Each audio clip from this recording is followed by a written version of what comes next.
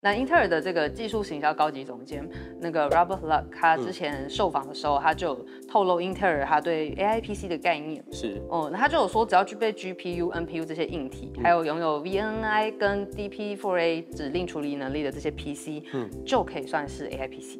怎么感觉又多了两个 乱码般的新名词？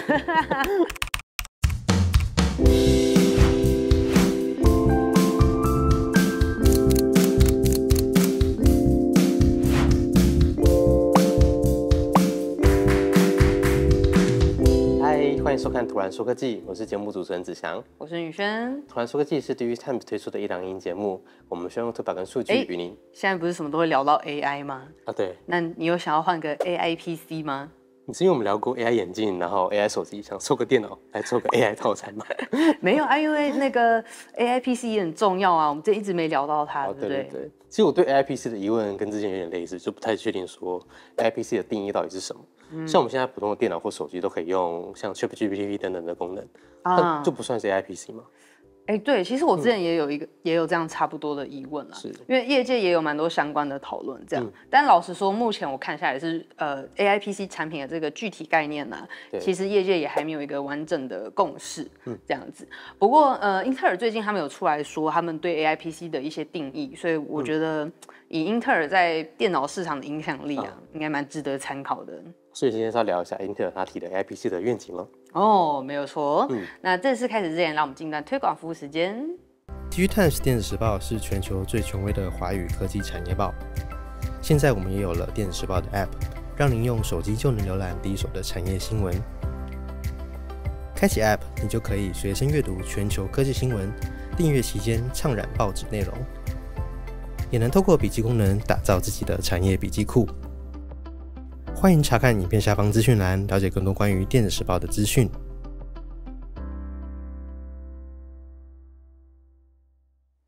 好，欢迎回来。那其实讲到英特尔，大家应该还蛮耳熟的哦，因为大家如果有买电脑啊、主电脑的经验，应该就知道，哎，微软有软体系统，那英特尔就会讲到 CPU 这样子。对对对。那说到 CPU，你要先介绍一下什么是 CPU？啊，好好好，毕竟等下还会提到一下 GPU、NPU 的话，还是帮大家一起比较一下 那么多 PU，那名字很像。对 PU。对，没错。那简单来讲啊，有 CPU、GPU、NPU，简单说都是一种处理器。处理器。嗯，那只是说它们架构设计还有应用的面向不太一样。嗯，对。那呃，先从 CPU 开始好了，它的全名是 Central Processing Unit，哦，中文就叫做中央处理器。是哦，那它具有核心机体跟控制单元。嗯，呃，不过用比喻来说的话，它其实就像那个电脑里面的大脑。大脑。嗯，大脑的一个角色，所以它可以让电脑跟应用程式做一个连接互动，这样子，那我们也才能透过电脑去处理各种任务，这样子。哦，所以我们买电脑时候要看的是 CPU 的效能啊，或者它时脉是多少等等的。哎，没有错，对，还会关心到电脑跑得快不快这样对子。对啊，那接着就来说一下 GPU 好了。嗯 g p u 的话就是 Graphic Processing Unit。对。哦，那中文我们就在直接说影像处理器啦。嗯。哦，那相信有打游戏的朋友就比较知道这个了。没错。就是常说的什么显卡这些东西。对、哦对，就跟打游戏的这个画面显示啊、呃这些有关系。是那其实我们想象一下，如果说 CPU 啊，它要承接所有的任务，就它要负责电脑里所有的工作，它就会很累嘛，对或是可能会很没效率这样子。那后来其实游戏显示需求变多之后啊，硬体制造商就把这种多媒体的任务，游戏啊、影音这种多媒体任务分割出来，给另一个。图像大脑角色的 GPU 哦、去做担任这样子，是。所以 GPU 其实跟 CPU 有点像，有核心记忆体跟控制单元，但它是用这种平行运算的方式，对。所以架构上是比较简单，比较适合处理这种专精的任务。我记得之前还有拿来做挖矿，对不对？啊。对对对，然后还有啊，一直到最近很夯的这个 AI 啊，机器学习领域啊，其实 GPU 都很适合用，哦。所以这个 GPU 大厂 NVIDIA 有没有？才起飞大红？对对对，这样子所以有兴趣的话，可以看我们上一集节目，有呃，芙蓉、芙蓉啊，对，还有玫瑰，他们有介绍这个，NVIDIA 跟 GPU 的部分。没有错哦。那还有一个 NPU 是什么？啊，NPU 它就是那个 Neural Network Processing Unit，对，那它简单来说就是这个类神经处理器，是这样子。那主要是设计用在这个执行机器学习算法的专用处理器啦，所以基本上都是跟 AI 挂钩的。哦，所以开始跟 AI 有关系了，哎，没有所以要回来讲 AI PC 了吗？是的，对对，而且刚刚聊了这么多啊，对聪明的伙伴应该有发现，就是其实所有的 PC 好像都可以执行 AI 工作，啊，对，对不对？因为毕竟说 CPU 就可以执行各种运算嘛，嗯，对啊。不过其实从效能啊、能源效率角度来看的话，呃，把 AI 的工作啊全部都丢给 CPU，其实呃跟 NPU 比起来，CPU 是没有这么擅长做的，所以就比较没效率。所以有点类似像拿铁锤去锁螺丝的感觉，就是没有那么好用感觉。啊，对对对，哦不是什么拿水果刀切超大萝卜啊，切不动，切不动之类的。突然是突然很日常。对对对，大概就是这个概念。嗯所以其实到现在 AI 时代啊，我们常提的这个大型语言模型嗯啊，甚至是 AI，基本上就跟 NPU，呃，应该说 NPU 基本上就是不可缺少的角色了。哦，所以在 AI PC 的定义里面，就必须要有 NPU 这个东西了嘛？哎，差不多就是这样子。对，因为像英特尔嘛，刚刚有提到英特尔他们有出来讲，那英特尔的这个技术行销高级总监那个 Robert Luck，他之前受访的时候，他就有透露英特尔他对 AI PC 的概念。是哦，那他就有说，只要具备 GPU、NPU 这些硬体，还有拥有 VNI 跟 DP4A 指令处理能力的这些 PC，嗯，就可以算是 AI PC。怎么感觉又多了两个 乱码般的新名词？哎，今天资料量好像有点过大，我都快流汗。那那个刚刚说到那个 VNI 还有 DP 四呃 DP4A 它的这个，其实就是在说利用 GPU 来进行成家指令的加速啦。哦，所以可以简单理解为是跟 AI 相关的一些功能，这样吗？可以，我们可以先这样理解。好，对，都会想要更直白的解释，我们可以再来录一集，我们再做一个短影音跟大家分享呃怕不然怕今天讲不完，好对不对？因为还有后面的部分。对。好，所以我看你表格还列出了像微软的部分。哦，对对对，我想说他们都是 Windows 生态系的成员嘛，啊，对，对啊，所以呃啊，但他们对 AI PC 定义不太一样，不一样。嗯，就想说一起提一下，嗯，对啊，那因为像这个啊，先说一下微软，其实在二零二四年五月二十号的时候，他们有要规划一个这个 AI 与 Surface 的活动，是对，所以到时候应该 Windows 他们会呃微软了，因为微软他们会亲自介绍一下 AI 软硬体的一些愿景跟规划。